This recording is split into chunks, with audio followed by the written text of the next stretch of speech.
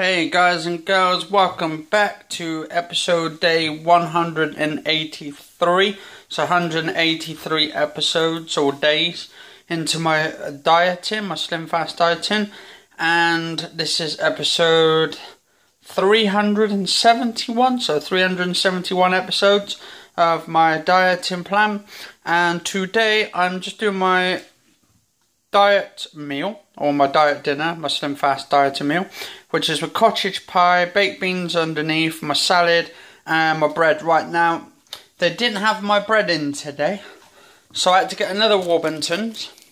Now this is actually whole grain as well, so this is actually whole grain, so it's still sort of same stuff as what I would do. It's low in fat, but it's a source of fibre. So source of fibre, so it's not high in fibre this one, but it's still exactly wholemeal or soft brown farmhouse. Uh, this is actually made in the farmhouse, and if I look on here, where is it? Um, need to try and find ah, is the one on the front? I don't you actually. Ah, hang on, right. There we go. Fat 2.7 grams. Uh, that's per 100 gram per average slice.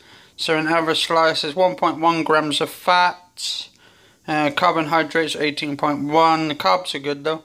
Fiber 2.2 grams, not much, but still a lot. Uh, salts 4.2 grams. Contains 19 slices. So it's got 19 slices of bread and yeah this is all I'm having. Five pieces there at my dinner and then I'm just going to like have a rest watch the football um, Italy and all that and Germany. I hope Germany wins because I want to see them in the finals and yeah of the European Cup. And I want to see um, yeah like Wales take on Germany. That'd be fucking awesome. Anyway, cheers all for watching and catch you guys and girls on the flip side.